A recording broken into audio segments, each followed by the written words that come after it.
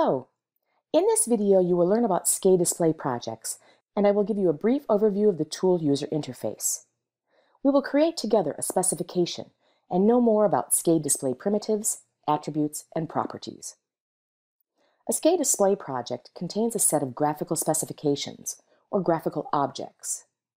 A graphical specification is associated to the default graphical resources of a project, like color, line width, line stipple, font, and texture tables.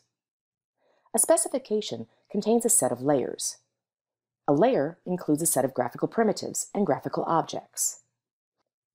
In this video, we will start using the tool with a simple example, a cockpit display. Go to the Primitives area and select a rectangle.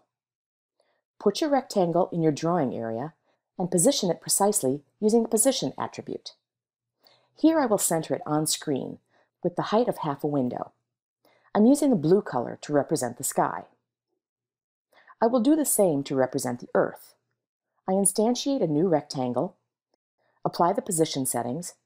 Here we could also use the grid and snap to grid features.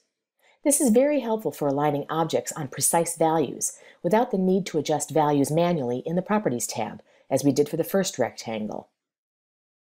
Then use the brown color for the ground.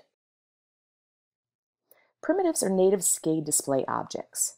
They can be line-based primitives, surface-based primitives like arcs, ellipses, rectangles, arbitrary shapes, text-based primitives to display a simple stream of characters, formatted numbers, text boxes, or text with decoration, or bitmaps primitives.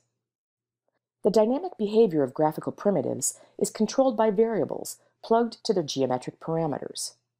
When the value of a variable changes, the geometric parameter is updated accordingly.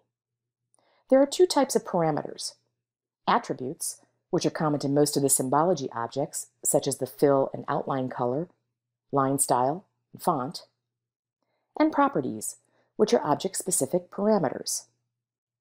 Let's now create a text box. I narrow it to only have one character per line, and I will call it sky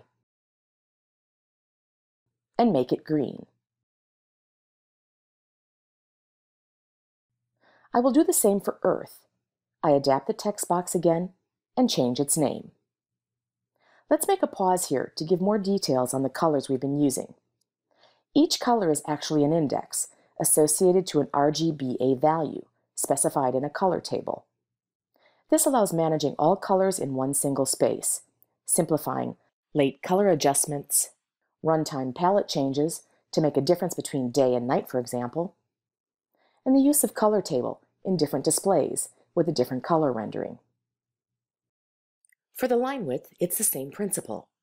Each line width is an index associated to a name, line width, a halo, and a color width, all defined in a line width table.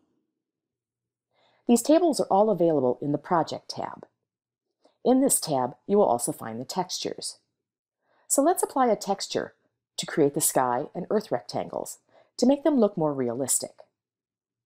Go to the texture table, click on the plus sign to add a new one. Here I will add default ones for the sky and the earth. The texture table allows managing all textures in one single place, similar to the color or line table.